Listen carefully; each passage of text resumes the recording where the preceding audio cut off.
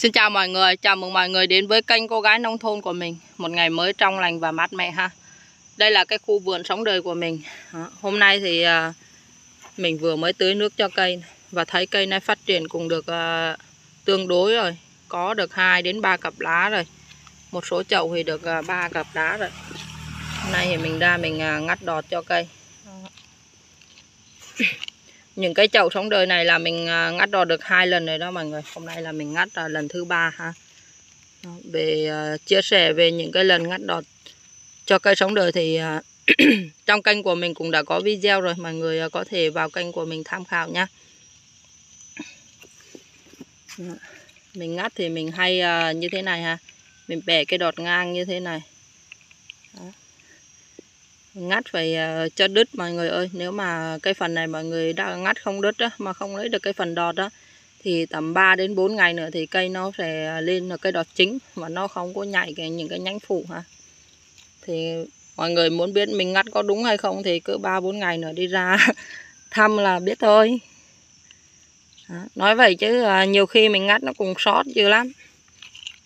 Chưa ngắt được cái hạt chính này là cái cây nó cứ nhảy lên không à?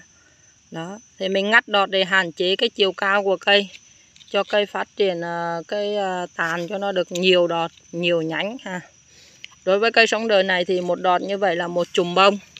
Đó, nên là trong cái giai đoạn phát triển này mà mình ờ, tạo cho cây được nhiều đọt á thì cái cây chậu bông của mình nó sẽ có nhiều chùm bông sẽ đẹp hơn rực rỡ hơn ha.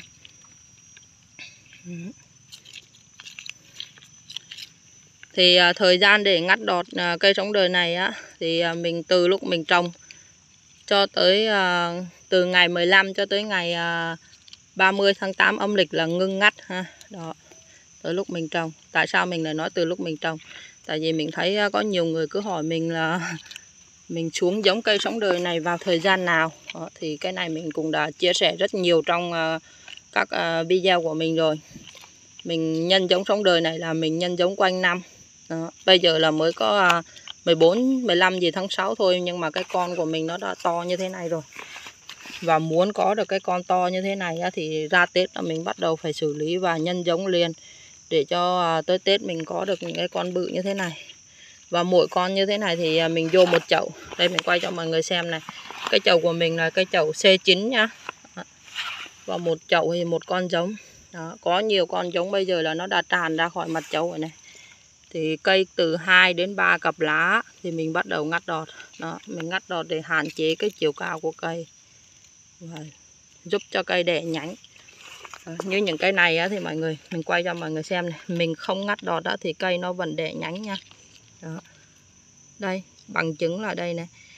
Đó. nhưng mà sau này á, những cái ờ, đọt chính này á, nó sẽ vươn lên cao và nó hưởng được nhiều sương nhiều nắng cũng như nhiều phân thuốc hơn đó, thì nó sẽ che ha nó sẽ che những cái đọt này. Nó cho nên mình ngắt đi. Mình ngắt đi để cho những cái đọt này nó cũng được vươn lên, nó biến thành những cái đọt chính. Và sau này tới cái thời điểm mà mình thả đọt á, thì nó sẽ có nhiều đọt hơn. Và lúc đó những cái đọt phụ nó mọc ra nó cũng nhiều hơn nữa. Tại vì về cơ bản nó đã có nhiều đọt chính rồi. Đó. thì về cái ờ, làm này thì mình cũng đã làm từ ờ, từ năm ngoái tới nay rồi. Năm ngoái mình cũng ngắt đọt như thế này và mỗi cây mình cũng vô một chậu. Vào chậu bông của mình tới tết thì cũng rất đẹp. Đó. làm bông làm hoa thì nó thật phải tới tết mới có kết quả được. Còn trong quá trình làm thì mình sẽ luôn cố gắng làm luôn cố gắng à, chia sẻ với mọi người. Đó. Dạ. mình ngắt hết những cái đọt chính đi.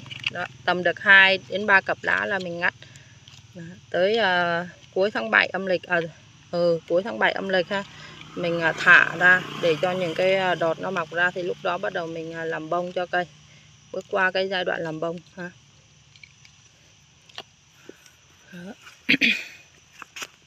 Đây thì mình ngắt được cũng khá nhiều đó mọi người. Như những cây này mình cơi được hai lần ha thì cây nó cũng ra được ba cái bốn cái đọt chính này đó hai lần là đã được bốn đọt chính rồi. Nó là tương đương với bốn cây con đó mọi người. Nếu như mọi người trồng một à, cái à, chậu hoa sống đời mà mọi người không có ngắt đọt đó thì nó chỉ có một cây như thế này thôi. Đó. Thì thay vì mình trồng à, bốn con vào một cái chậu ha, thì mình chỉ trồng một con thôi và mình cơi đọt ra như vậy. Dễ chăm sóc hơn nhiều. Tại vì một chậu bông mà, một cây bông nó dễ chăm sóc hơn. Đó. và cây chậu bông của mình nó cũng tròn tàn hơn nó sẽ đẹp hơn còn nếu như mình trồng nhiều cây á, thì ờ, nhiều khi có một trong số những cái cây đó nó không may nó chết hay nó yếu hơn những cái khác á thì chậu bông của mình nó cũng không có đẹp đẹp thì đó là ý kiến của riêng mình ha đó. những cái chậu này mà mình ờ, tản ra mà có sương có nắng càng nhiều á thì cây nó đẻ đọt càng nhiều đó quay cho mọi người xem này. Như cây này là mình mới à, ngắt đọt có một lần thôi này. Đó, một lần một lần và cây nó ra này.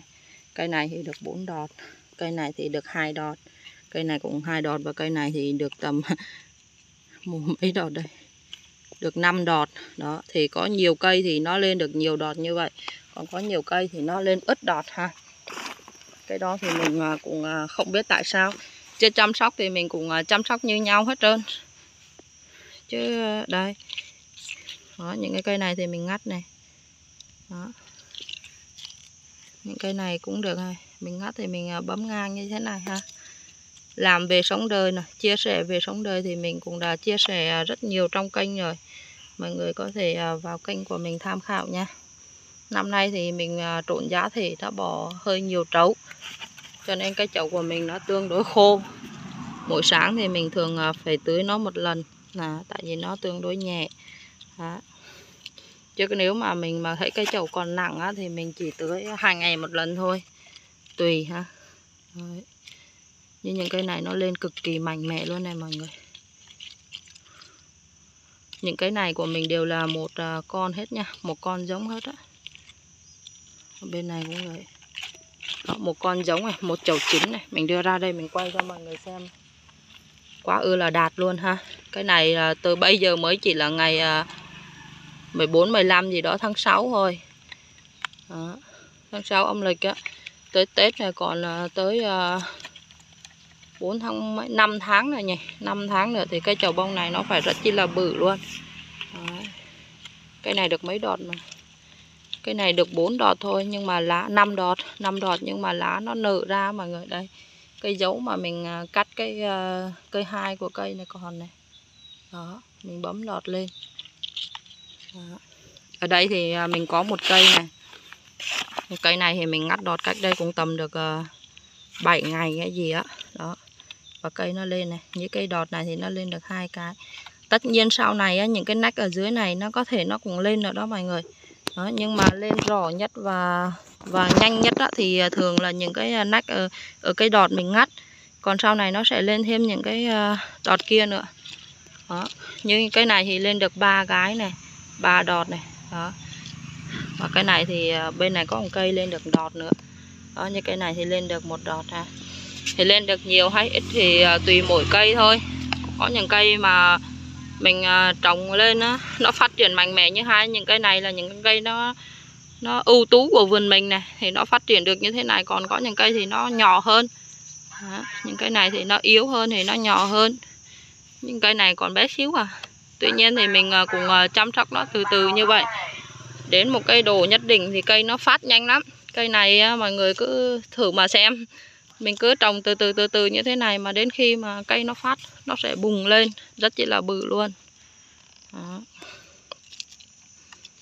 thì đa số thì những cái chậu mà màu đỏ của mình ở đây thì mình đã ngắt uh, cây hai với cây một hết rồi. Đó, hầu như là ngắt một cây hết đâu rồi đó. Một số thì ngắt cây hai và một số thì đang ngắt cây ba này. Nó có cái sự không đồng đều như vậy là do uh, mình nhân giống á, từng đợt một đợt như vậy thì mình cầm được tầm à, hai ba trăm đọt thôi.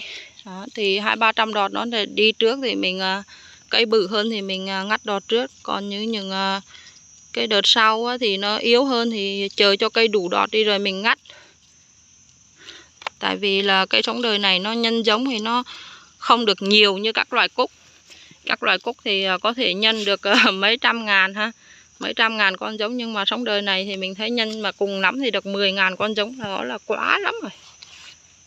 Tại vì nó không có nhiều đọt và thời gian lên đọt nó cũng chậm hơn. Đó, đó quay cho mọi người ở xa đằng kia là mình còn à, cùng cũng khá nhiều. Bây giờ thì mình đã à, dọn cái khu bên này này để ra mai và chuẩn bị à, đưa sống đời ra đây nữa. Thì làm từ từ thôi cũng không có phải gấp gáp tại vì những cái chậu con con này của mình thì đang à, đủ sức để nuôi, ha Đó.